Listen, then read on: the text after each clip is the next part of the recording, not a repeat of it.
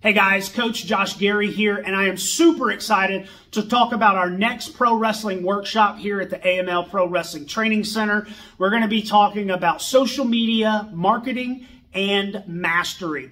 Social media is probably one of the most valuable tools that somebody in the professional wrestling industry can have in their toolbox, but it's one that I see misused and mismanaged quite often. So Sunday, September 22nd, we're going to talk about all the things that you can do to uh, increase your engagement, increase your followers, how to present your brand as a an entity that people want to do business with. Promoters and bookers want to schedule you for events. Uh, you want to put your best foot forward, possibly even go viral. Uh, it's the window dressing to your brand. And so we're going to talk about all the tips and tricks that businesses use to increase those things for them that they can also use in the professional wrestling industry, pro wrestlers, referees, managers, promoters, bookers, anybody. We're going to talk about how long does a post live on a specific social media channel? What's the best format to present your written photo or video type content? It's only $20 a person. You can go ahead and pre-register by emailing me at coachjoshgerry at gmail.com.